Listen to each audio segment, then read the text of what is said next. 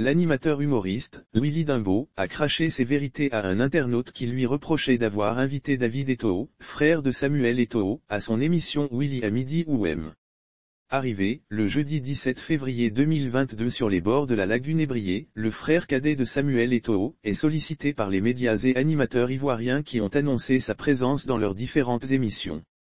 Parmi les animateurs, Willy Dimbaud qui avait annoncé la présence de David Eto'o à son émission Willy à midi ou encore WEM, ce vendredi 18 février 2022. Choix d'inviter contester cette annonce faite sur la page Facebook de Live TV, a été critiqué par certains internautes qui estiment que les médias ivoiriens ne devraient pas inviter le frère du président de la FECAFOOT à les plateaux télé ivoiriens. David Eto'o, à part être le frère du footballeur, est-il une célébrité? Donnez la chance aux jeunes qui veulent juste passer seulement 10 minutes pour montrer au public leurs inventions, a commenté un internaute. Je n'écoute plus quelqu'un maintenant sauf les critiques constructives face aux critiques, l'animateur Willy Dimbaud est monté au créneau.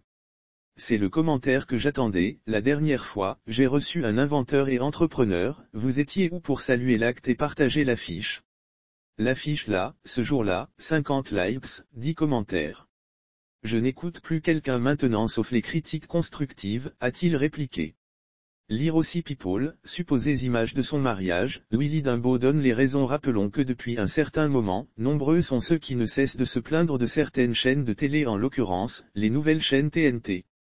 Selon ces téléspectateurs irrités, ces chaînes de télé n'ont que pour seul invité, les faiseurs de buzz.